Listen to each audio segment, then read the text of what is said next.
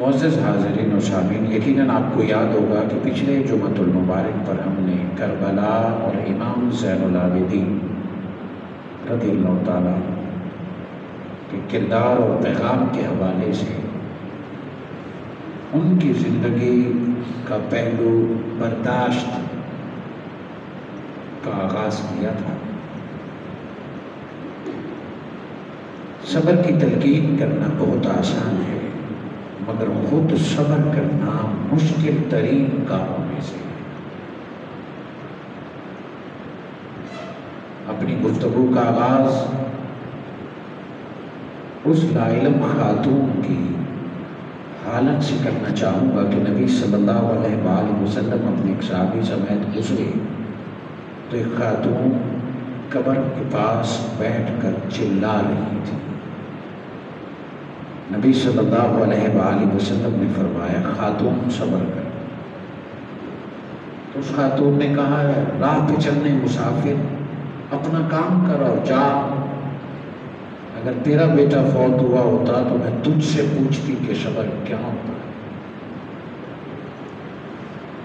हजूर वसल्लम घर चले गए और उस नादान खातून को किसी ने बताया, पता है, तूने ये सख्त कलिमात किसको कहे हैं? उसने कहा, मैंने तो पहचाना भी नहीं और सर उठाए बगैर नसीहत करने वाले को जवाब दी। फरमाया, वो दो जगह के सरदार रहमत आलमीन मोहम्मद मुस्तफ़ा खुद थे। वो बड़ी नादिर हुई और तेज़ी से नबी सल्लल्लाहु के हजरे के पास आई और कसम खा के कहा, या रसूल अल्लाह मैंने आपको पहचाना नहीं था। मुझसे बेअदबी हो गई। मेरे आका ने फरमाया, खातून, सबर होता ही इब्तदा में है, बाद में तो आते आते आ ही जाता है। जिस सबर के बारे में अल्लाह रब्बुल इज़्ज़त ने फरमाया कि अल्लाह सबर करने वालों के साथ है।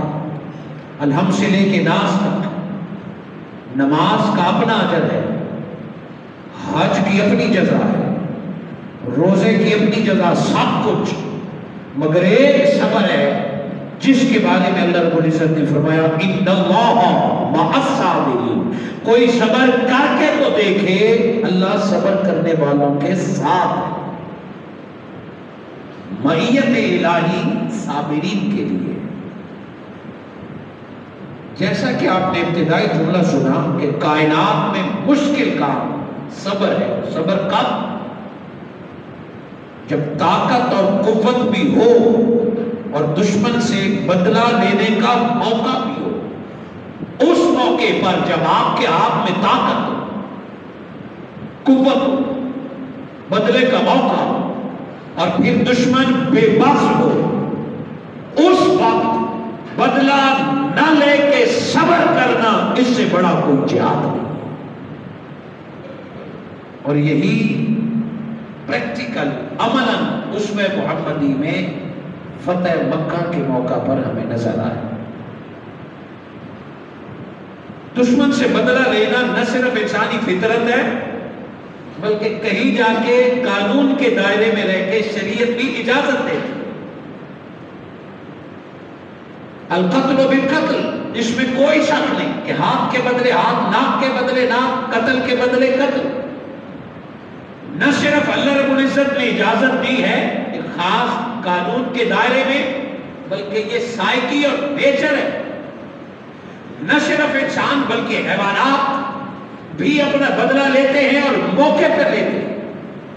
इंसान की भी यही फितरत है कि वो दुश्मन से बदला लेना चाहता है। उसके दिल को करार और सुकून आता है जब वो पेट देर ओन काइंस करता है। जैसे अगला करता है, वैसे कर दिया। बल्कि ईट का जवाब पत्थर से देना। यह इंसान की फितरत है। मगर सबर क्या है? कुरान मजीद फुरकान हमीद में वबशर साबरीन के लफ्जों से खुशखबरी सुनाई कि अल्लाह की तरफ़ से सबर करने वालों के लिए खुशखबरी है।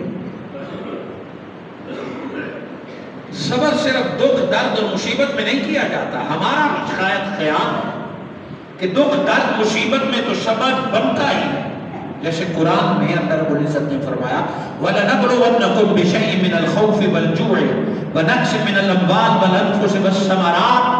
ये कि बंदा खौफ में मुब्तला हो, फिर सब्र करे। भूख डेरे डाले, महँगाई लपेट में ले ले, फिर सब्र करे।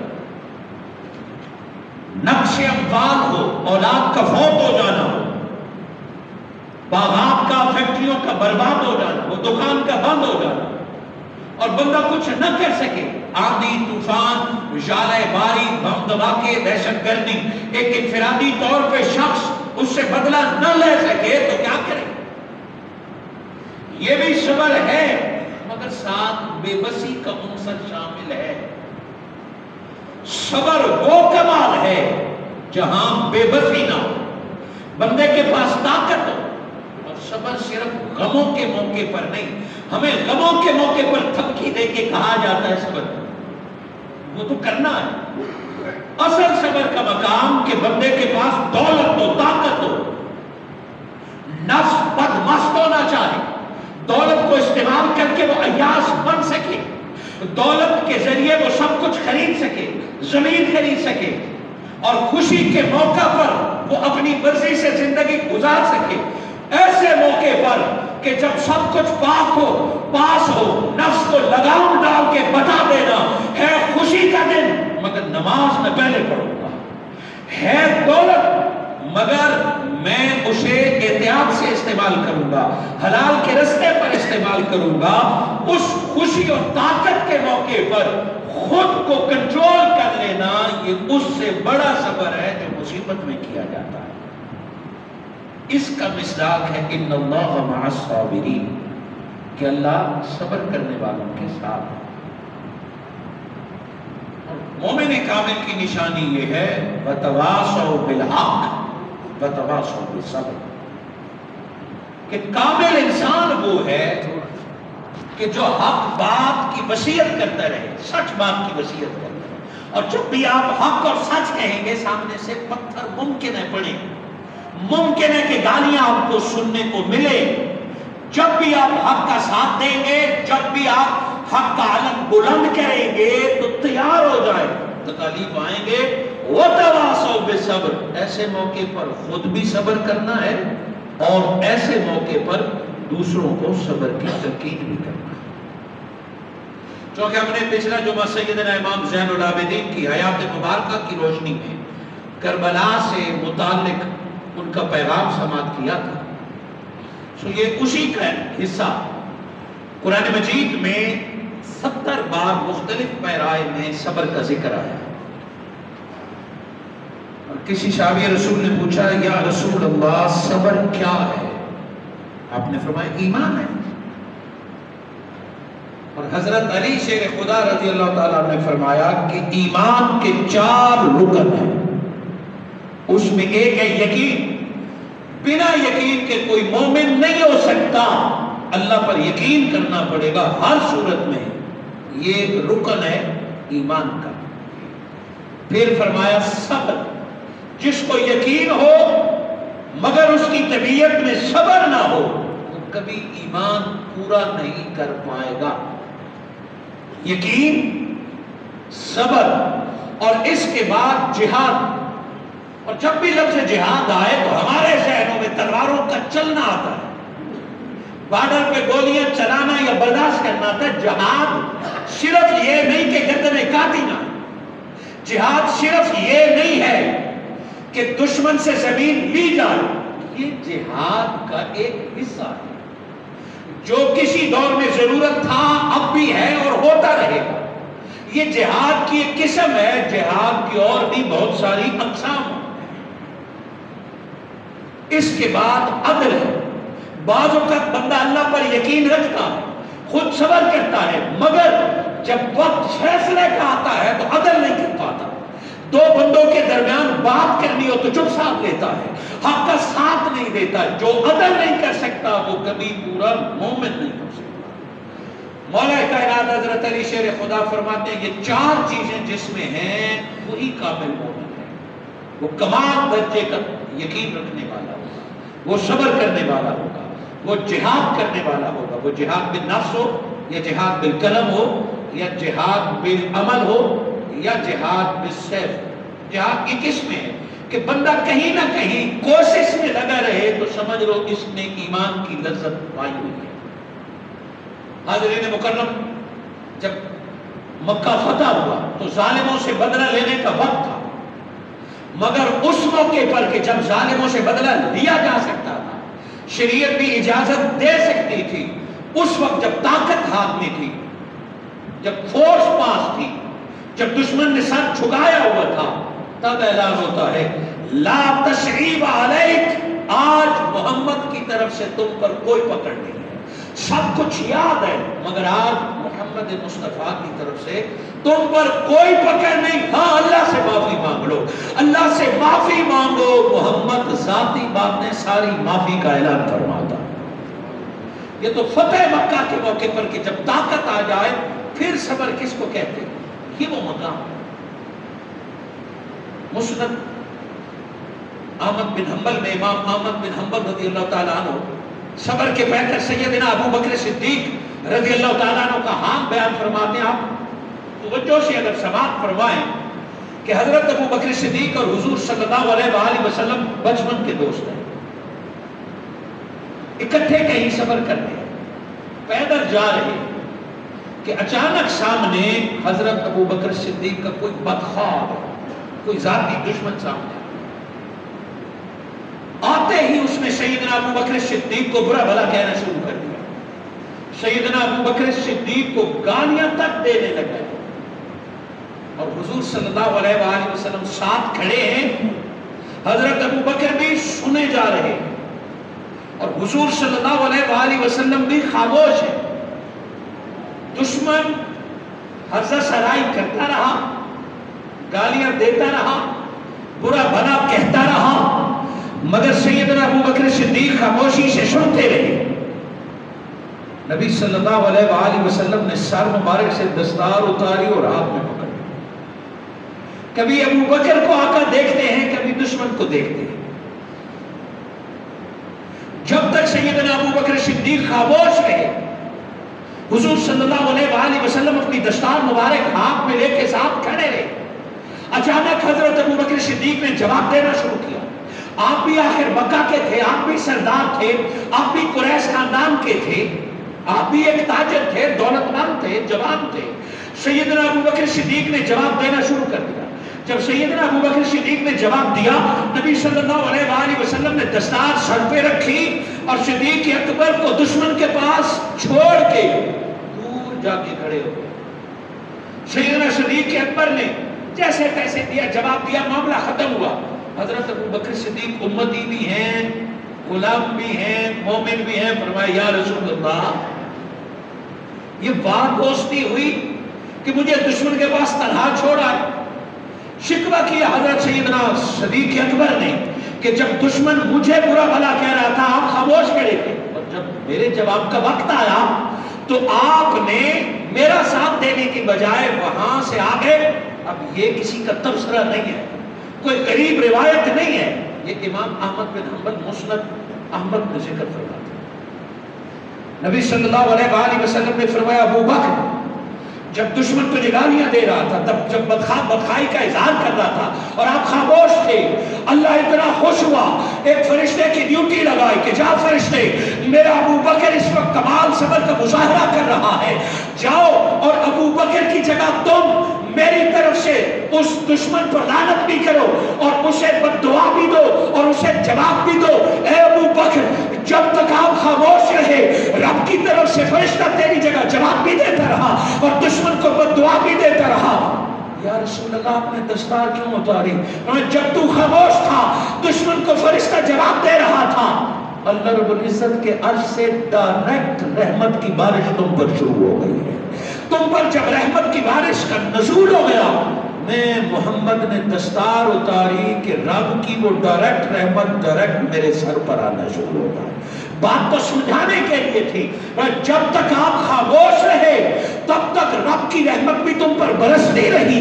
और फरिश्ता तेरी जगह जवाब देना शुरू किया। रब ने फरमाया, फरिश्ते, लौटा अबू बकर अपना मामला खुद संभाल रहा है। जब तूने अपना मामला खुद डील किया, रब ने फरिश्ता भी वापस बुला लिया और रहमत की बारिश भी रुक गई। फिर आप दूर क्यों चले गए? और जब तक तू बर्दाश्त करता रहा, फरिश्तों का नजूल होता रहा और जब तुम आपस में लड़ने लगे, शैतान आ गया और जब शैतान आ गया मैं मोहम्मद ने सोचा कि पहले अगर रहमत का नजूल हो सकता है, कहीं ऐसा ना हो कि अल्लाह का असाब फजेल हो जाए। इस सारी हदीश मुबारक का लुब लुबाब और खुलासा ये है कि जब बंदे के पास ताकत हो गाली का जवाब गाली में दे, इल्ज़ाम का जवाब इल्ज़ाम में दे, गिरबान में हाथ पकड़ सके और वो अपने भाई से लड़ने की बजाय सबर का दामन थाम ले, सबर कर ले। ऐसा बंदा जो ताकत के बावजूद जबान कंट्रोल कर ले, ताकत के बावजूद गुस्सा कंट्रोल कर ले, ताकत के बावजूद माफ़ी का उनसर गालिब रखे। इससे बड़ी कोई इबादत नहीं है। इससे बड़ा कोई जिहाद नहीं है। ऐसे बंदों से रब प्यार पाता है। ऐसे ही बंदों को अल्लाह रब्बुल इज़्ज़त ने फरमाया, इन्नल्लाह मअस्साबिरीन। मगर शैतान मरदूद इंसान के नफ्स को भारता है। ये बदले की जो आग अंदर जलती है। ये शैतान अंदर जलाता है। जो बंदा बदले की आग अब में चल रहा होता है। पहले वो हाथ से बदला लेता है। जब हाथ से बदला ले लेता, फिर वो मुँह से पकता है। वो गालियाँ देता है। सामने गालियाँ देने की ज़रूरत ना हो, फिर वो कीमत करता है। बुजदिली की इंतहा है गीबत। बुजदिली की इंतहा है गीबत कि बंदा किसी की गैर मौजूदगी में उसकी इज़्ज़त तार करे, उसकी गीबत करे। शैतान मरबूत एक अदम बर्दाश्त की वजह से, एक बेसब्री की वजह से, इंसान को अल्लाह से दूर करता है, मोमिन भाई से दूर करता है, फिर वो कीमत और गालियाँ दूसरे तक किसी और के ज़रिए पहुंचाता है। यूँ उम्मत मोहम्मदी में दो भाई एक दूसरे से दूर हो जाते हैं टुकड़े टुकड़े हो जाते हैं। इसलिए खाले के कायनात ने इब्तदा ही में सबर का हुक्म दिया कि जो सबर का दामन थामे रखेगा, थोड़ी देर सबर करके तो देख, अल्लाह की रहमतें तुम पर भी बरसेगी और तुम्हारे सारे उमूर अल्लाह खुद इज़्ज़त से अल्लाह फरमा देगा। हुजूर सल्लल्लाहु अलैहि वसल्लम की सारी सीरत देख। ताइफ में आका सल्लल्लाहु अलैहि वसल्लम के साथ क्या हुआ? मेरे आका सल्लल्लाहु अलैहि वसल्लम जब ताइफ में गए तो लोगों ने आपको पत्थर मारे। नौजवानों को पत्थर देके नबी सल्लल्लाहु अलैहि वसल्लम पर संग्रेजी की गई।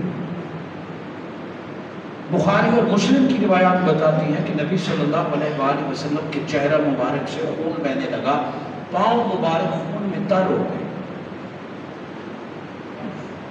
उस वक्त फरिश्ता आया और फरिश्ता अपनी मर्ज़ी से तो नहीं आता। फरिश्ते की क्या ज़रूरत के खुद आए? जिब्राइल नहीं आ सकता। फरिश्ता आया और तारुफ कराया कि मैं जिबाल, जबल, पहाड़ों का फरिश्ता हूँ। या रसूल अल्लाह इजाज़त दीजिए कि ताइफ वालों पर पहाड़ गिरा के मैं इनको गर्क कर या मुझे इजाज़त दीजिए कि मैं इनको ज़मीन, बोझ कर दू, ज़मीन में गर्क कर दू, मिटा दू। अभी अभी आका ने पत्थर खाए, अभी अभी खून बह रहा है। दुश्मन ने पागल मशहूर कर दिया। ये पागल है। इन्हें आबादी से निकालो। कितनी बातें आका ने सुनी। पत्थर भी खाए। फरिश्ता भी आ गया। और फरिश्ता रब की मर्ज़ी के बगैर तो नहीं आया मगर मेरे आका सल्लल्लाहु अलैहि वसल्लम ने उसी जगह खड़े होके कहा कि नहीं, मैं मोहम्मद औकमा काल मिटाने नहीं आया। मैं तो बस्तियाँ बसाने आया। हूँ मुकम्मल तहमल बर्दाश्त और सबर से मेरे आका ने फरमाया, फरिश्ते, लौट जा। मुझे अल्लाह से उम्मीद है कि ये न सही इन्होंने मुझे न पहचाना। इनकी नस्लों में तोहीद वाले पैदा हो जाएँगे। इनकी नस्लों में कलमा आएगा। मेरे आका ने उम्मीद का इजहार भी किया।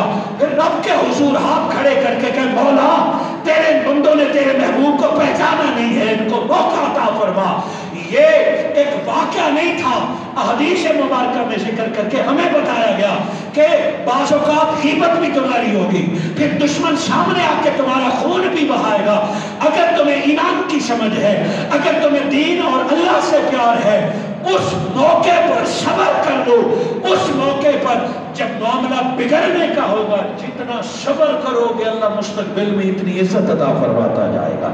हुजूर सल्लल्लाहु अलैहि वसल्लम का वो अमल सिर्फ़ नौ साल गुजरे। हिजरत मेरे आका ने फरमाई, मस्जिद नबी में बैठे इत्तला मिली ताइफ के वही सरदार आ गए जिन्होंने पत्थर मरवाए थे। वही सरदार आ गए जब मेरे आका को पता चला, नबी सल्लल्लाहु अलैहि वसल्लम ने फरमाया, उनकी रिहाइश का आला एहतमाम किया जाए। उनके लिए आला खाने का बंदोबस्त किया जाए। नबी मुकर्रम ने खुद इस्तेमाल फरमाया। उन्हीं सरदारों के जिन्होंने पत्थर मरवाए थे, जिन्होंने मेरे आका को लहू लुहान किया था, आका सल्लल्लाहु अलैहि वसल्लम ने इस्तेमाल किया, या रसूल अल्लाह खैमे कहाँ नसब करे उनके लिए, मेहमान खाना कहाँ बनाए? मेरे आका ने फरमाया, आला तरीन जगह, आका, वो कौन सी है? फरमाया, मोहम्मद हुक्म देता है कि मस्जिद नबवी के शहर में ताइफ के सरदारों के लिए खेमे नसब कर दिए जाए। एक किरदार उनका था कि उनके यहाँ मेरे आका गए ओबास नौजवान लगा के पत्थर मारे और पागल दीवाना कहा और आबादी से बाहर निकाला। एक किरदार मोहम्मद मुस्तफ़ा का है, एक खुशबू नबूवत और रिसालत की है। जब मेरे आका ने आगे बढ़ के इस्तेमाल किया। उनके सर शर्म से झुक गए। उनका ख्याल ये था कि मोहम्मद मुस्तफ़ा शिकरे करेंगे, पिछली बातें याद दिलाएँगे। इस्तेमाल किया, खैमों में बिठाया। कुर्बान जाए आका करीम के बर्दाश्त पर अपने हाथ से दूध के प्याले पेश किए। वो अपनी अना, जिद हटधर्मी को याद करके रो पड़े। अपने किरदार को याद करके रो पड़े। मगर आमना के लाल ने माजी की एक बात भी याद नहीं दिलाई। माफ़ भी किया और दौलत ईमान दिन के सहाबियत के मकाम पर भी फाइज फरमा दिया। हुजूर सल्लल्लाहु अलैहि वसल्लम का ये तो इज्तिमाई कौम से था। बाजू का शहर में आता है, पूरी सोसाइटी से कांटेक्ट कर ले सकता है। अल्लाह इज़्ज़त ने एक जंग के मौके पर फतह दी। बहुत सारा माल आया। हुजूर तशरीफ़ फरमा है कि एक बुद्धू आया देहाती। और मेरे आका के गले में किसी ने तोहफा दिया था, फतेह का चादर। हुजूर सल्लल्लाहु अलैहि वसल्लम के गले में चादर थी और वो बुद्धू आया और आके शाहबा ने समझा होगा, शायद दस्तपोशी कर रहा है, मिलने आ रहा है। तो वो बुद्धू आया और चादर पकड़ के आका को खींचा। चादर पकड़ के जब झटका दिया, अचानक कोई बंदा आए तो उस चादर का निशान मेरे आका के नर्म, प्यारे, खूबसूरत गले पर निशान पड़ गए। उसने खींच के कहा मोहम्मद इतने माल को क्या करोगे? मुझे भी हिस्सा दो। मांगने का भी अंदाज होना चाहिए। जब उसने ये कहा शहाबा को तैश आया, मगर मेरे आका मुस्कुराए, अभी उसने रुमाल पकड़ा हुआ है फरमाया ये अल्लाह का माल है, तू हिस्सा माँगता फरमाया, मुझे भी हिस्सा दे। हुजूर ने खादिम को बुलाया कैसे ले जाओ, ये जो चाहता है, इसे दे अब ये देखकर वो देखने वाले तंग हैरान रह गए कि फाते कायनात के सामने एक बुद्धू आया, समझाया तक भी नहीं कि क्या ये मांगने का अंदाज है? उसके लेवल के मुताबिक आका ने डील किया। पूरी सोसाइटी को हुजूर सल्लल्लाहु अलैहि वसल्लम ने हज़रत अंश बिन मालिक फरमाते हैं, हमें तकलीफ़ हुई कि ये बुद्धू नबी को कितनी तकलीफ़ दे रहा है। मगर आका के लबों पर मुस्कुराहट जारी रही। ये वो तहमुल, ये वो बर्दाश्त, ये वो सब्र है जिसको नबी ने फरमाया, ये ईमान का हिस्सा है। बिना सबर और बर्दाश्त के ईमान मुकम्मल नहीं होता। आज हम अपनी पूरी ज़िंदगी पर निगाह दौड़ाएँ, फिर मेरी और आपकी ज़िंदगी में होने वाले नुकसान को गिने। आप यकीन कीजिए, अपने घर में जाके बैठिए, अपने ज़िंदगी में होने वाले नुकसान की लिस्ट बनाइए। सारे नुकसान अदम बर्दाश्त की वजह से हैं, बेसब्री की वजह से हैं।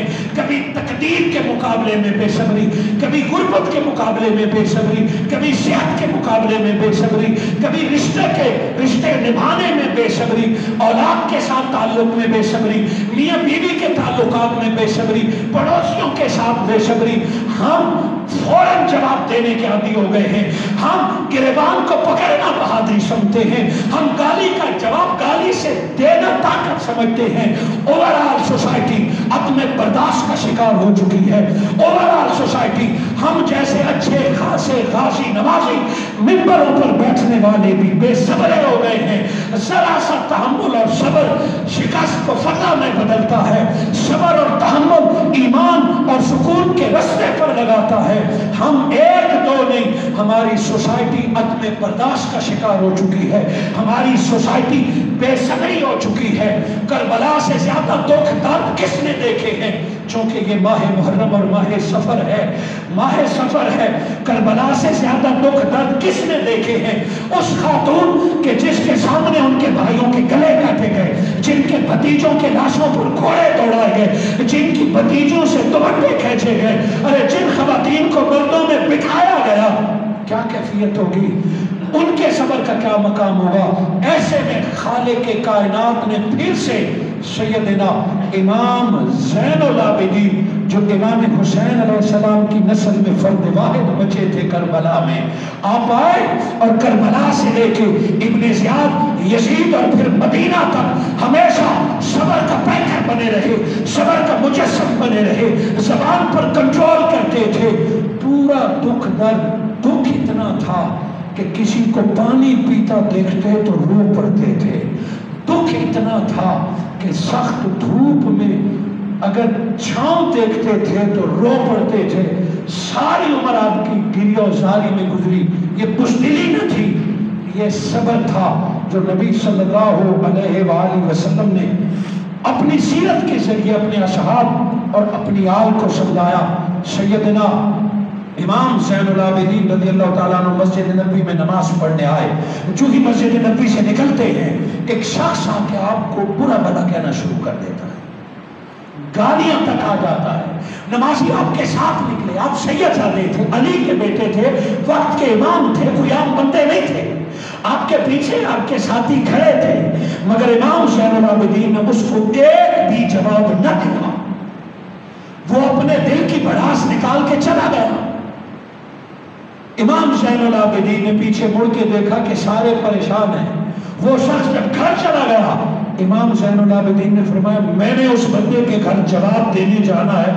कोई है जो हमारा मेरे साथ जाए? सारों ने बैग कहा कि शायद इमाम जैन बदला लेने जा रहे हैं। सारे तेज़ी के साथ चलते रहे। उस बंदे को भी इतना मिल गई कि हुसैन का बेटा अली इमाम जैनुलाबदीन घर आ रहा है जवाब देने। वो तैयार हो गया। नेशा तलवार उसने तैयार कर लिया। इमाम जैनुलाबदीन दरवाजे पे खड़े होके रोकदार आवाज़ से कहते हैं ए वो शख्स जिसने अभी अभी मस्जिद नबी के सामने मुझे बातें सुनाई है, बाहर निकल।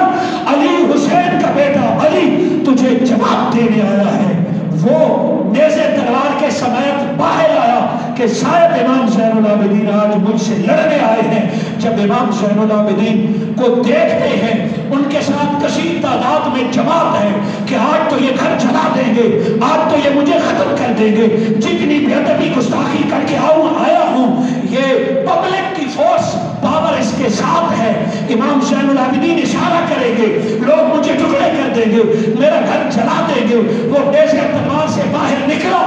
इमाम सैनुलाबदीन ने फरमाया नौजवान, तूने अभी अभी जो मुझ पर इल्जामात लगाए हैं, मेरे ऐप बयान किए हैं, मुझे बुरा भला कहा है। सुन, अगर ये मुझमें ऐप पाए तो मैं सबके सामने दुआ करता हूँ, अल्लाह मुझे माफ़ भी फरमाए और मुझे अपनी इसलाह की तोफ़ी अता फरमाए।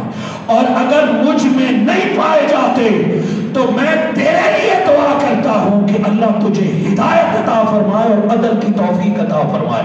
इतना कहना था, मजमा भी रो पड़ा। नेजा तलवार फेंक के वो इमाम सैनुलाबिदीन के कदमों में आया, माथा चूमने लगा। मैं समझने लगा कि आप मुझे मारने आए, टुकड़े आए हैं। आपने फरमाया, इससे बड़ा कोई बदला नहीं है कि दुश्मन को भी दुआ दे दी जाए। इससे बड़ा कोई बदला नहीं है कि माफ़ करके दुश्मन को भी दुआ दी जाए। आज मुआशरे में ऐसी तस्वीर नज़र क्यों नहीं आती? हम आखिर सहाबा को मानने वाले हैं, हम अहले बैत के मानने वाले हैं, हम घरों पर झंडे तो अहले बैत के लगा लेते हैं, मगर हमारी सीरत में अहले बैत की झलक क्यों नज़र नहीं आती आज अहले बैत के अखबार हम क्यों भूल गए हैं? मारूफ कौल जिसे मेरे उस्ताद मुकर्रम हुजूर शेखुल इस्लाम डॉक्टर मोहम्मद ताहिर कादरी फलसफा शहादत इमाम हुसैन में बयान फरमाते हैं। फरमाते हैं, इमाम जैनुलाबिदीन मस्जिद नबी में नमाज़ पढ़ के मदीना से बाहर खेमे में वक्त गुजारते ताकि लोगों के साथ अट्रैक्शन ना हो। अंधेरी रात है इमाम जैनुलाबिदीन अपने खेमे में बैठे कि कोई शख्स दौड़ता हुआ आया और खेमे की चादर उठा के कहता है, मुसीबत का मारा हूँ पना मिलेगी। इमाम जैनुलाबिदीन ने फरमाया, आ जाओ। इमाम जैनुलाबिदीन ने जब उसे कहा, आ जाओ? का क्या है? फरमाया, बाहर, बंदे मुझे मारने आ रहे हैं, पकड़ने आ रहे हैं, पनाह चाहिए। इमाम जैनुलाबिदीन ने कुछ कपड़ों की तरफ़ इशारा किया, इसके पीछे बैठ जाओ। सैदना इमाम जैनुलाबिदीन ने खुद दूध का बंदोबस्त किया, अपना बिस्तर पेश किया, उसे दूध पिलाया, बिस्तर पर बिठाया। वो जो उसके पकड़ने वाले दुश्मन थे, वो चले गए। जब उसे इतमान हुआ, रात खत्म होने को थी, उसने इमाम जैनुलाबिदीन को पहचान लिया, ये तो हुसैन का बेटा उसने इजाज़त चाही। इमाम जैनुलाबिदीन ने जाते हुए फिर दूध पेश किया। वो चला गया, कुछ आगे गया। जमीर ने उसके पाँव पकड़ लिए। जमीर ने उसे जाने न दिया। जमीर उसका बेदार हो गया। वो वापस पलटा और वापस पलट के कहता है, आप वो अली बिन हुसैन है। इमाम सैनुलाबिदीन ने फरमाया हाँ मैं अली बिन हुसैन हूँ। आपने मुझे नहीं पहचाना। इमाम सैनुलाबिदीन ने फरमाया, क्यों? का अगर आपने मुझे पहचाना होता तो बिस्तर न देते मुझे। मुझे दूध न पिलाते, मुझे दुश्मन से न बचाते। इतना कहना था। इमाम जैनुलाबिदीन की आँखों में आँसू आए और रुख फेर के दूसरी तरफ़ का साले कोई बाप और भाइयों के कातिलों को भी भुला सकता है। मैंने तो तेरा सारा पहचान लिया था कि करबला के कातिलों में कातिल आ गया। उसने कहा, पहचान के बावजूद मुझे दुश्मन से बचाया, मुझे दूध पिलाया, मैं तो इस काबिल था कि मुझे आप टुकड़े करते, मुझे दुश्मन के हवाले करते। फिर मुझे क्यों पना दे? इमाम जैनुलाबिदीन ने फरमाया, मेरी आँखों से हट जा, चला जा। मैंने पहचान लिया था लेकिन तुम्हें दूध क्यों पिलाया? तुम्हें दुश्मन से क्यों बिछाया ये हमारे बड़ों की सिखाई बातें थी। तुमने जो करबला में किया, वो तुम्हारा किरदार था। मेरे खेमे में जो मैंने किया, ये हमारा किरदार है। ये अहले बैत का किरदार है। मेरे दोस्तों, करबला पुकार पुकार कर कह रहा है। वह तबाशो बिल हक वह तबाशो बे सब, हक के लिए खड़े होना भी कमाल है। मगर सबर का दामन हाथ से जाने न दो। घरों में सबर का मुजाहरा करो। मोहल्ले में पड़ोसियों के साथ सबर का मुजाहरा करो। आज तो हमारे मदरसे, मस्जिद और मिंबर और मेहराब और हमारी तकरीरें सबर से खाली हो गई हैं। हमारी तो तकरीरें बिना कुफर के और नफरत के फतवों के बगैर पूरी नहीं होती। हमारी तो मसला की झगड़ों के बगैर हमारा तो तबलीग का काम पूरा नहीं होता। हमारी सारी मेहनतें आज मोहब्बत की बजाय नफरतें फैला रही है। मुआशरा इस वक्त इस्लाम का पैगाम अमन देखना चाहता है। इमाम जैनुलाबिदीन की सीरत का एक पहलू मैंने आपके सामने रखा। मौजूदा सूरत हाल में पंजाब का एक ताज़ा तरीन, अफसोसनाक वाक्य पेश आया है। सुने और दूसरों तक पैगाम पहुँचाए। इस्लाम जलाओ, घेराव का कायल नहीं है। इस्लाम इंसान का घर ये कहता है चींटियों को भी जलाने की इजाज़त अल्लाह नबी को भी नहीं देता। इस्लाम जलाओ घेराव का दस नहीं देता। इस्लाम झूठे इबादत, खाने, गिराने की भी इजाज़त नहीं देता। ये जो पंजाब में वाक्य हुआ है, कसूरवार कौन है? इसके लिए हाकिम ने वक्त को तहकीक करानी चाहिए, कमाल अदल का मुशायरा करना चाहिए। जिसने भी अगर कुरान की बेहरमती की है, उसे करारे की सजा मिलनी चाहिए। जिसने भी कुरान की बेहरमती की है। मगर ये इस्लाम और ईसाइत के दरमियान पूरी दुनिया में फिर से क्लैश पैदा करने और पाकिस्तान को इस पाकिस्तान के इस्तेकाम को बिगाड़ने की साजिश की है। इस्लाम किसी सूरत में भी, किसी भी मज़हब के इबादत खाने जलाने की इजाज़त नहीं देता। इस्लाम काफिरों के घरों को भी जलाने की इजाज़त नहीं देता। इस्लाम जंग में तलवार उठाने की तो इजाज़त देता है। इस्लाम अपने कैद में गैर मुस्लिम कैदियों को भी भूखा प्यासा रखने की इजाज़त नहीं देता। जिसने भी इस्लाम के नाम पे गिरजा घर चलाए, उसने इस्लाम दुश्मनी की है। उसने मोहम्मद मुस्तफ़ा के पैगाम को दागदार किया है। उसने इस्लाम के पैगाम अमन को बदनाम किया है। हम इसकी मुसम्मत करते हैं। रहमानिया मस्जिद के मेंबर और मिनहाजुल कुरान के तालब इलम की हैसियत से मैं सारे अमल की मुसम्मत करता हूँ, इसको गलत करार देता हूँ कि यूँ घर चलाना, कसूर किसी एक का है, उसी का गिरबान पकड़ा जाए, उसी को सजा दी जाए, तहकीकात की जाए, यूँ जाहिलों की तरह जलूस निकाल के, अल्लाह नबी के नारे निकाल के टायर चला लेना और तनसीबात को आग लगा लेना ये न सिर्फ़ इंसानी हकूक के खिलाफ है, बल्कि इस्लाम के खिलाफ है। ईसाई यहाँ अकलीत है और इस्लाम तमाम अकलीतों का मुहाफिज है। अगर आपके पड़ोस में भी कोई अकलीत रहता है, वो हिंदू है, वो ईसाई है, वो यहूदी है, वो काफिर है, तलवार से गर्दनें तो काटी जा सकती है, मगर तकदीरें नहीं बदल सकती। मीठी जबान से तकदीर बदल जाती है। तलवार से